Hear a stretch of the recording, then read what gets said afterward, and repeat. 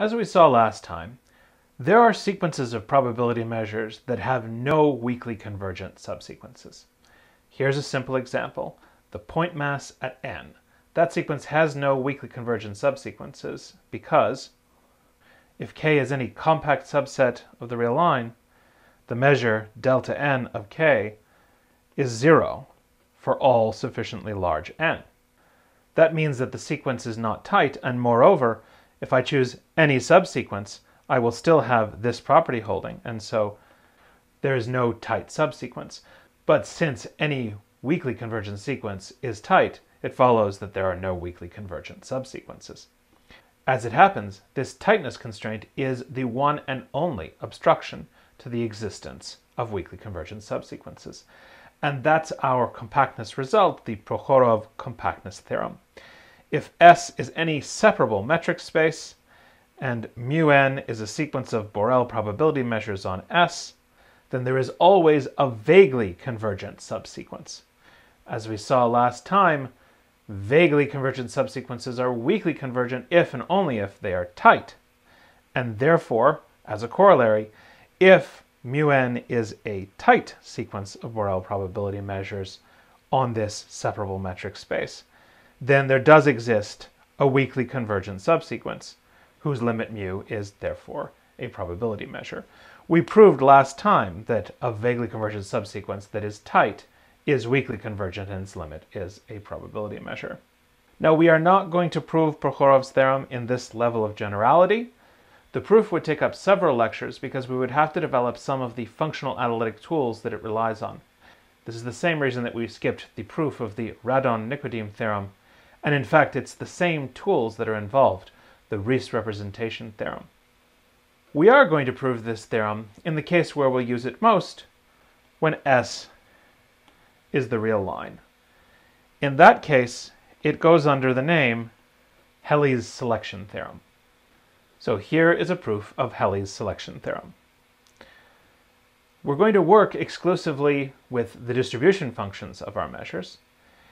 And it's important to realize that since the distribution functions are right continuous non-decreasing functions, they are determined by their values on any dense subset of the real line, in particular on the rationals, which are a countable dense subset.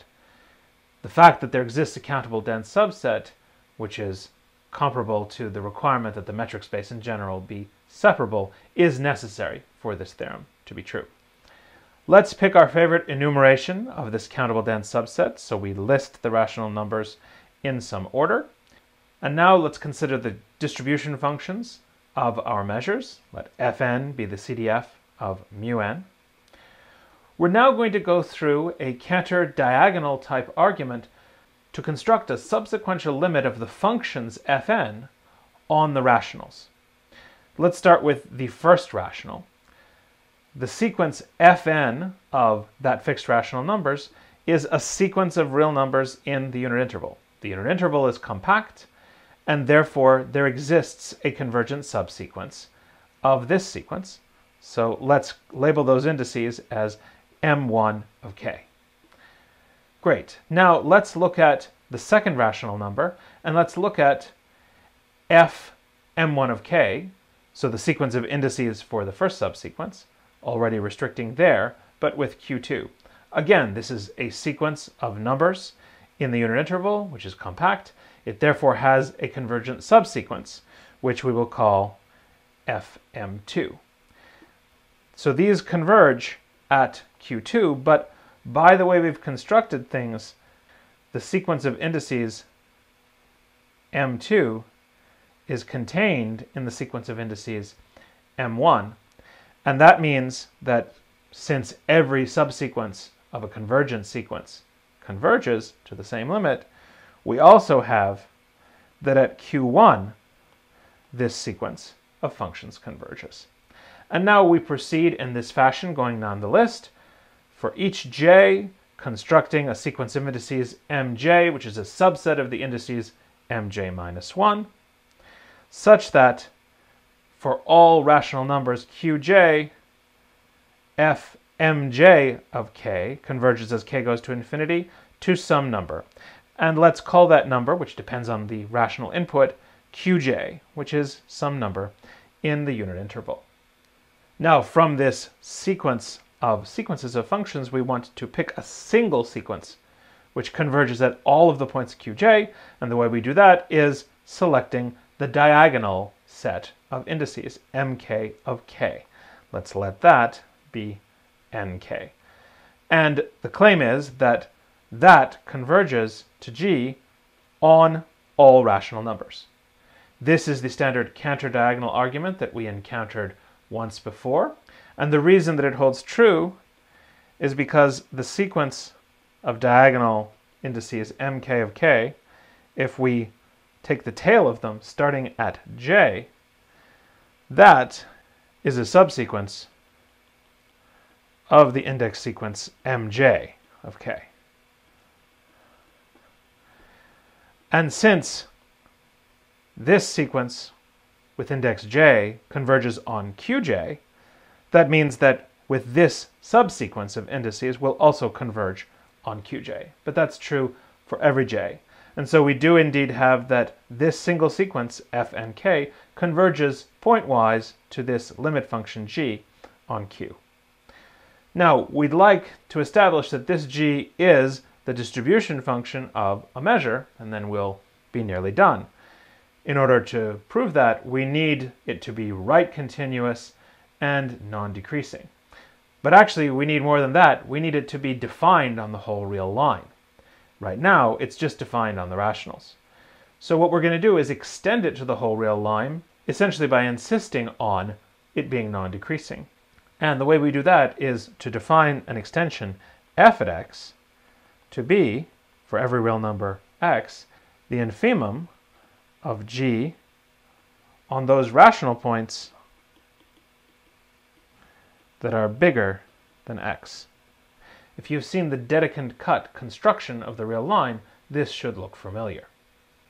Now we're going to prove that this function is non-decreasing and right continuous, and that fnk converges pointwise to it at the continuity points of f.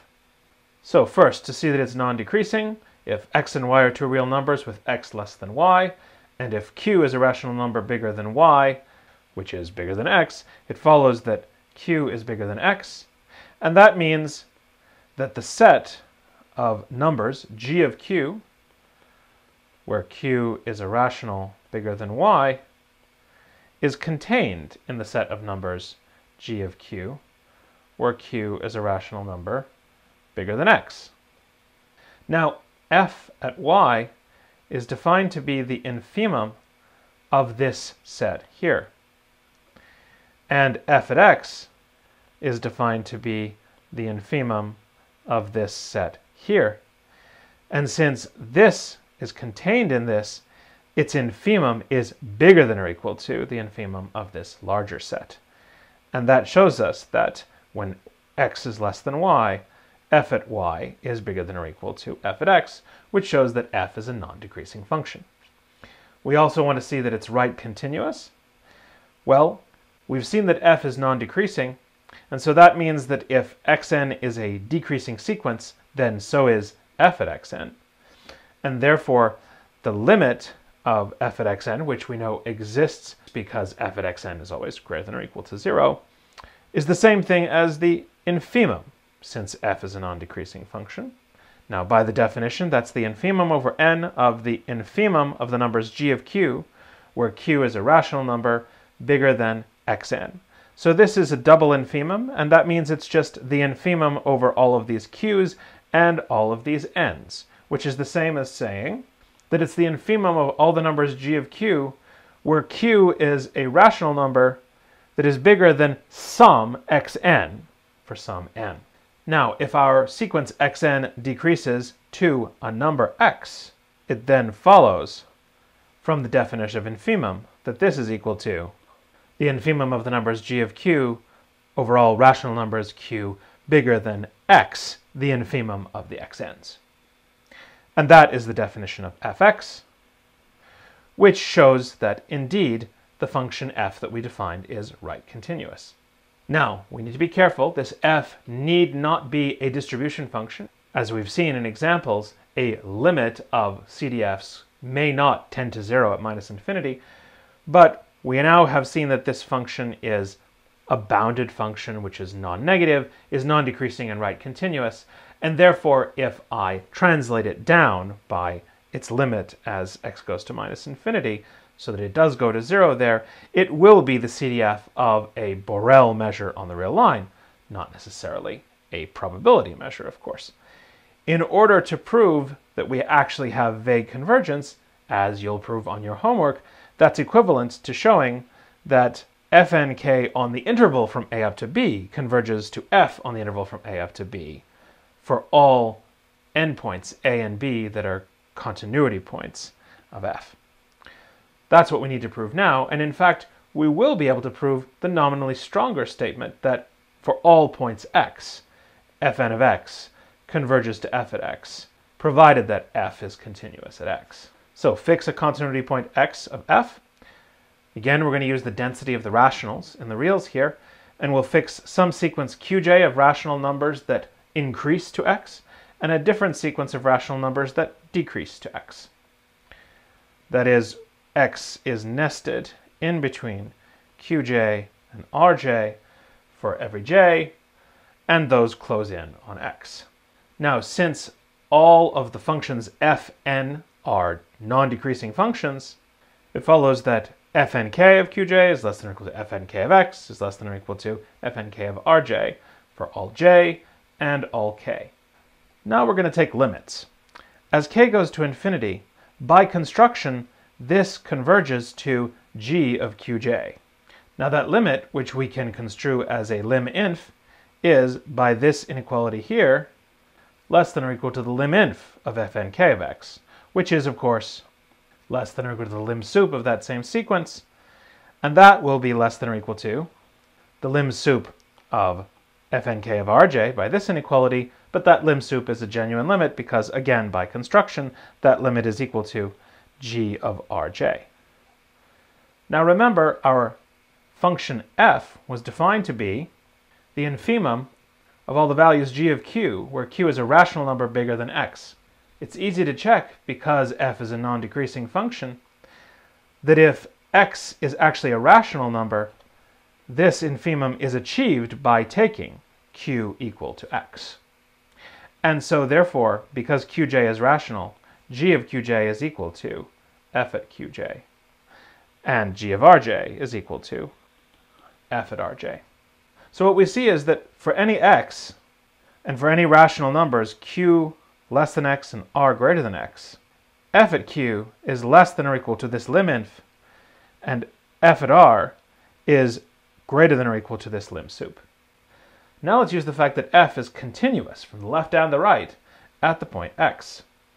If we let qj tend to x and rj tend to x from above and below, by the squeeze theorem from this chain of inequalities, we get that f of x, which is the limit of f of qj and the limit of f of rj, is a lower bound and an upper bound for each of these terms, that forces them to both be equal to f at x, which means that the limit of fnk of x is equal to f at x, as we hoped to prove, and that concludes our proof of Helly's selection theorem, the one-dimensional version of the Prokhorov compactness theorem. It's possible to use very similar ideas to prove the Prokhorov compactness theorem for probability measures on RD by taking the d-dimensional equivalent of cumulative distribution functions in this proof. But we'll satisfy ourselves with this one-dimensional version, although we will use the more general version on separable metric spaces in later theorems in this course. This result is going to play an important role in soon coming lectures on an analytical tool that we use to deal with weak convergence, the characteristic function.